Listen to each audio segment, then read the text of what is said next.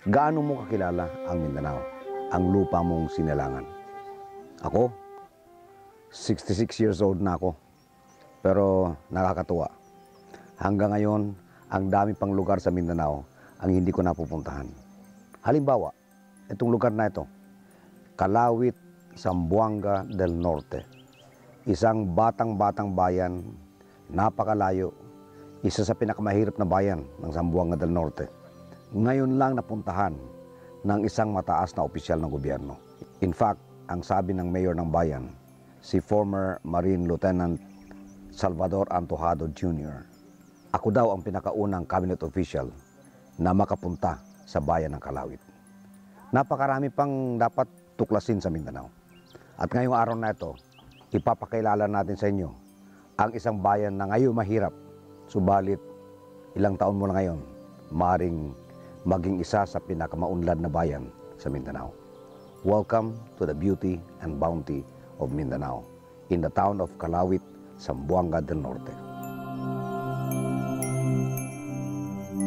Ito po si Mayor Salvador Antojado Jr., dating tenyente sa Philippine Marines. Ngayon ay ah, mayor ng Kalawit, Zamboanga del Norte. Mayor, paano ka napunta sa Kalawit? Di ah, ganito po sir, no? Noong ah, 1986 nung ah, ah, inilipat kami mula ng ah, Davao City, no? Bilang ah, membro po ng Philippine Marines. Ah, ito po yung unang lugar sa Zamboanga del Norte kung saan na uh, nireassign yung mga Philippine Marines na nanggagaling sa ano sa sa Davao, no? So first ah, ito po yung pinakaunang lupa po ng Zamboanga del Norte talaga na naapakan ko. Hindi pa bayan ito noon, isang masukal pa lang na, na lugar sa uh, Zamboanga del Norte. Ito po isang sitio lang dati. So noong 1990, uh, na-create ito bilang uh, pinakabatang munisipalidad sa Zamboanga del Norte. No? So 29 years ago pa lang pinaka kwan talaga no. So kaya nga uh, sa makita nga natin halos kukunti pala yung kukunti pala yung nakatirang tao. No? Uh, may uh, 22,000 na uh, lupain kami. Uh, sa Hectares. hectares. So. Din yung aming population ay 20,000 pa lang po. Kukunti Mm. pa talaga. Mm. So, anong meron sa Kalawit? Ah, itong kalawit sir, ah, kahit nga na ito po ay pinaka pinakabatang bayan ng Zamboanga del Norte. Dito po yung makikita natin yung tatlong malalaking ahensya ng ah, gobyerno. Itong Philippine Carabao Center na makikita natin ngayon sa Muson Bukidnon lang. At saka itong ah, Philippine Fiber Industry at saka yung ah, livestock. No? Ang ibig mo sabihin, bago na-create ang Kalawit, nandito na sila? Hindi po sir, no.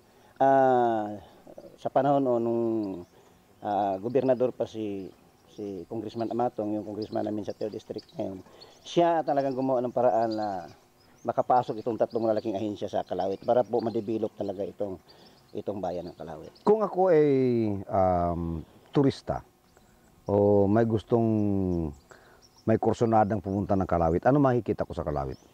Ah, unang-una sir, itong magandang magandang tanawin sa Kalawit kasi ito po ay karamihan talaga patag wala kang makitang bulubundoke no. Karamihan nga ah, yung mga basakan ah, kahit nga medyo hindi 100% na irrigated na mga farmers dito umaasa lang sa tag-ulan. Di na maliban doon sa sa ah, magandang tanawin, siyempre itong pinakahuli sir na ah, two years ago lang na nakita namin na may potential pala itong lake namin na gawing ah, turismo. So, ano ang major product ngayon ng Kalawit? Mm, sa ngayon sir, yung ah, guma, yung rubber. Pangalawa po yung ah, rice, yung sa pa natin palayan. At ay ni, ah, niyog, yung kopras. Itong huling araw, ah, marami na rin pong nagtatanim ng palm oil, oil palm, palpasawit. Ika nga tawag nila sa Malaysia. Mhm. Tapos, ah, ino-offer mo ang Kalawit as a ah, resettlement area para sa Balik Probinsya program ni Pangulong Duterte? Yes po, at ah, yun po din ang na, napasok sa ah, kaisipan ko na para po matulungan natin yung ating mga kapatid na talagang nag-uumpugan na doon sa Manila sa sobrang daming tao.